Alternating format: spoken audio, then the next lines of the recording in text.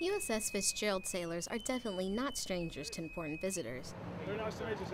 But it's not every day that they get to greet someone from Australia.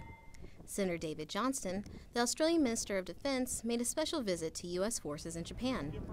He and a group of distinguished visitors from the 7th Fleet Area of Responsibility toured the Fitzgerald as part of their stop in Yokosuka.